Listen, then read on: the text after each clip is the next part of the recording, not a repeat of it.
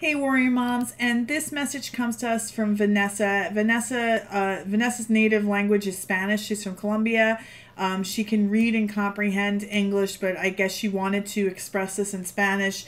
Um, so Facebook translated it for me. So I'm going to read it as she wrote it, just so that um, we can all kind of get a full understanding of how she's feeling, and then maybe see uh, if I can support her around her question.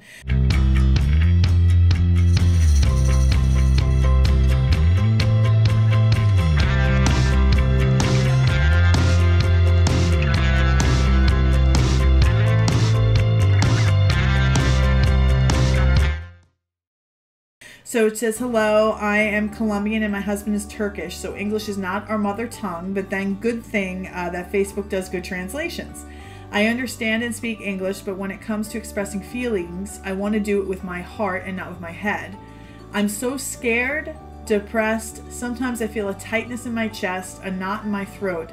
I'm very sad and I don't care if I will be judged by what I will say, but this is a bad dream, a nightmare.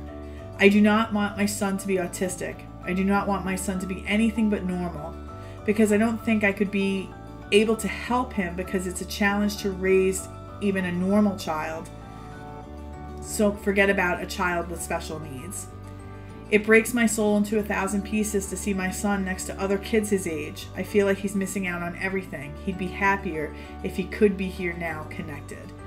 Um, Vanessa, this what you're going through right now what you're feeling is first off, this totally sucks. It totally sucks to be in this club. I kind of call it like a club because I feel like nobody, uh, parents of typical children, uh, don't really understand how this feels. When you, we all had expectations when we were pregnant that we were going to have a healthy baby that was going to have this uh, future with unlimited possibilities. And then when this happens, when this kind of comes crashing down on us that our child is different and that they're going to need more support or, uh, you know, they have autism, it just kind of, it is at first feels like this just living nightmare. Like, oh my gosh, you know, how am I going to navigate this? When my daughter was diagnosed, I had a three month old uh, baby boy. I was worried about him too. I didn't know if this meant if she had it, that he was going to have it. It was just, um, the feelings you're feeling now are, are completely understandable and really um, part of the process.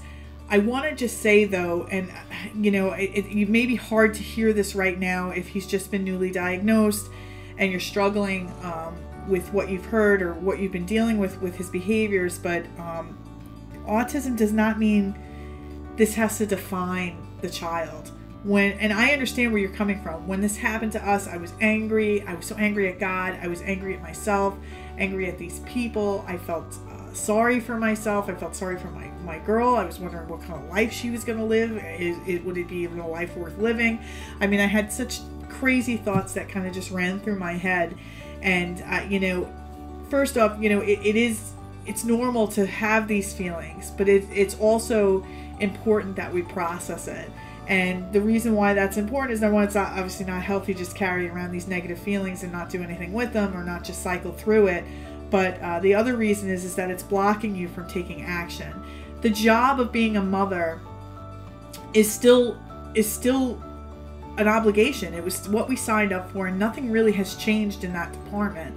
What has changed is maybe the expectation of what we thought mothering this child was going to look like. But your job as a mother is more important now than ever before because autism is a spectrum. You have options here. This isn't cancer. And I, I just really want this to hit home for all the mothers that are struggling or that are just like how feeling exactly like Vanessa's feeling. It's normal to feel that way, but you need to get through this. You need to push through it, process these emotions, and get to work, mama. Your job didn't change. It's just it's just a little bit of a different job. And um, this is not terminal. We can work with this. You can potentially have a child that lives a very good life. We, our job, by the end of the day, one of the things that really snapped me out of this thinking was that I'm going to die one day. And I don't want to die knowing that I left some left some on the table. You know what I mean? I want to make sure I gave it everything I got as her mom to give her the best opportunity at a ha- at the happiest life possible. And if I'm wrapped in my own emotions and fear story and anger and just these negative emotions and not taking action, I'm not being that mom that I promised her that I would be when she was in my stomach. So, um, th- once I had that thought, I kind of snapped out of this and snapped into action and said, you know what?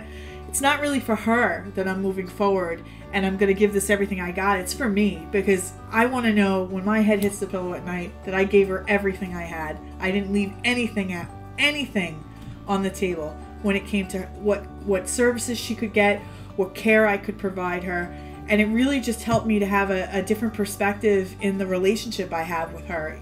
You know, my relationship with her is very different than my son's, and I actually cherish it because it's it's her form of communication. It's her form uh, of love and it's different than what maybe my son would express but that's okay it's still it's still valuable and she's going to be great and i went from looking at her future marks in complete blank space to now where i actually see her holding a job you know having her own place um, taking care of herself something I, I didn't even know it would be possible but had i not gotten out of that space of all these negative emotions and, and feelings around this i would not have been able to have a chance at what she has now. So um, I just wanted to throw that out there. And I have a son too. My son is is developing typically. I actually the way I do it, so because she does get a lot of attention, she needs a lot of you know she needed a lot of support. I always included him in the when the teachers came. I always said to said to him and her, I said, well, the teachers are here for both of you. You know, even though the teachers were really here for her, I've always Cody's always been a part of the equation, and social skills are something that's quite common to be a deficit for a child on the spectrum.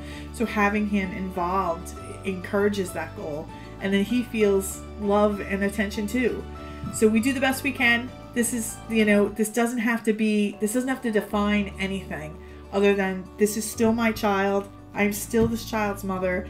This is the journey, even though it's not the one that I expected, but we're still going to work towards um, raising happy, healthy children. So I know this is so hard, Vanessa. I hope you can translate this somehow because I'm talking and I guess I'll type this out for you too. But um, for any of the other moms that are struggling with the emotions that Vanessa is having, I get it. I hope this was helpful. If anyone has any comments uh, or, or, or, questions, just post them below and I'll be happy to uh, respond. Thank you, everybody.